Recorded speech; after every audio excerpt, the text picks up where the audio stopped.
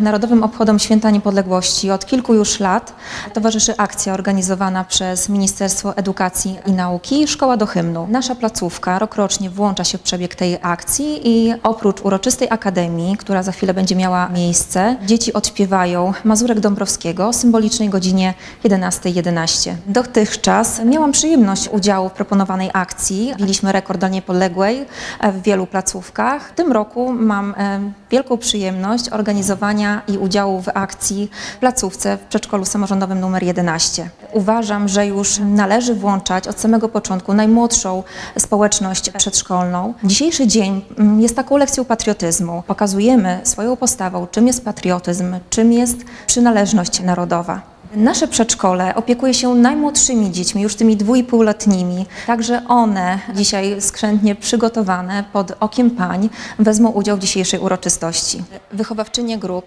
e, zadbały o wyjątkowy nastrój tego dnia, nie tylko poprzez przygotowanie dzieci do uroczystości, ale także poprzez przypomnienie naszych symboli narodowych. Te symbole narodowe, każdy z nas je zna, poznają nasze najmłodsze dzieci. Jest to flaga, hymn polski.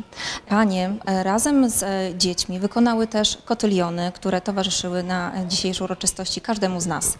Podczas uroczystości mieliśmy okazję wysłuchać wspaniałych pieśni. Niektóre z nim towarzyszyły jeszcze nam jako, jako dzieciom.